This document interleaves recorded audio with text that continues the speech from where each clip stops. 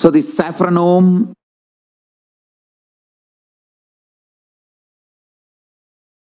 dedicated to world peace, conflict resolution, religious freedom. I'm officially launching the social media platform for the Saffron Om now. So it's already available. And Red Om for all kinds of relief work.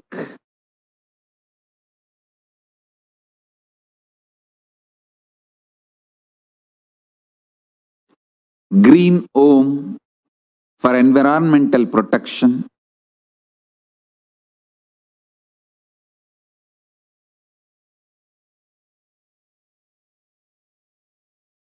Fundamentally, whatever we were doing earlier, now we will evolve it more in a internationally organized way.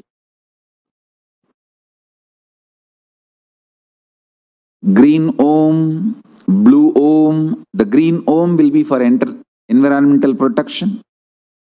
Blue Om is for animal rights.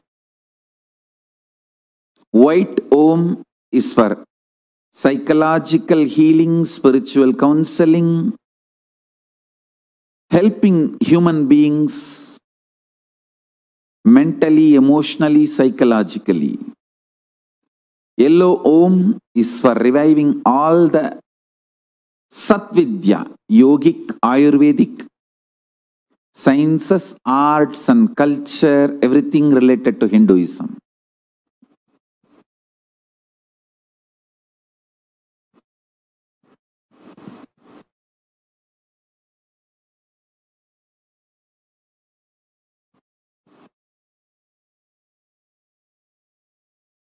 Please understand, these new organizations are not bound by any other country's law. It is international standard.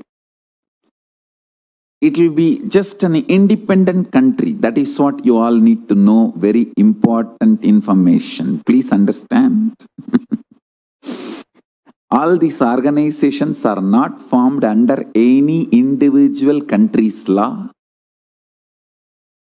There is a class called international organizations which is beyond individual countries' laws. It's a separate standalone body like an independent nation. So these organizations are getting formed, evolving under that class, like how the UN is independent of all countries' laws. In that way, these international organizations are getting formed. I want all of you to know. And there is a legal procedure for all that. There are certain countries allow these registrations and there are certain preconditions need to be fulfilled. All that is practically done. And that's the way these organizations are evolving. So all these detailed good newses will all be announced after December 14th. Now I'll be giving only preliminary informations, how much need to know basis. Need to know basis, the informations will be shared.